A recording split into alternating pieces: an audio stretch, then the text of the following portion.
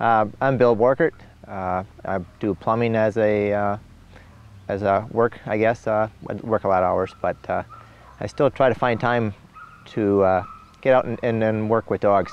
I always wanted to get into the, the field trial end of it. I, I never had the time or, or effort. I finally just said one year to myself, I'm, I'm going to get going at this. If I don't get going, I'm never going to do it.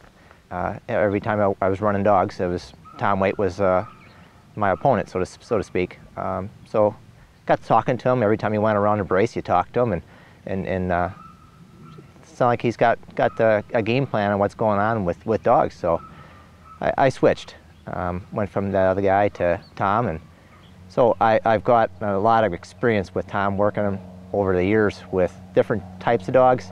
Um, every dog's got a different personality, and and Tom Waite um, sees that. So now uh, working with him enough, not a lot of years, probably six six years or so, I've been been in the field trial and working with them and, and learning stuff. Um, if you sit and watch watch Tom handle dogs, I, I've rode a lot of races, uh, planting birds, um, starting to do some judging now for the last couple years and, and trying to help out back, get back to the sport. Um, but watching Tom run dogs, different dogs, different, different uh, scenarios. Um, if you watch every dog does differently in, in different situations. Tom Waite, he takes his time and watch, if you watch him, um, as far as handling himself in, in the situations to get the, what he needs out of them dogs to, to get him to perform and win. Um, that's when I first got in the field trial. It was it was it seemed like everybody was against Tom Waite. It was it was Tom Waite came in. He had 10, 10 12 dogs that ran the field trial. It was nothing to see him take first, second, and third.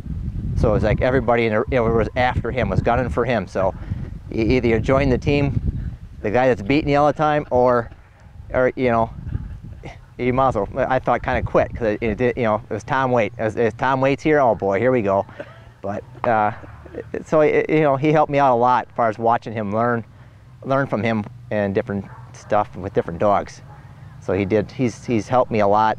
But uh, I'm really grateful that he gave me a, a, nice quality dog, so I can compete now with uh, versus well setters versus pointers is setters you gotta go through a lot more, which Tom Tom's been helping me out in that part, part uh, getting getting decent dogs. So he gave, gave me this one, so I, I, hopefully she, with Tom's help, which she's going to be coming back because Tom Waite's been been there for me for a lot of years. So we're just gonna keep working with him, and and uh, I like to thank thank Tom a lot for for all the, what he's done for me over the years.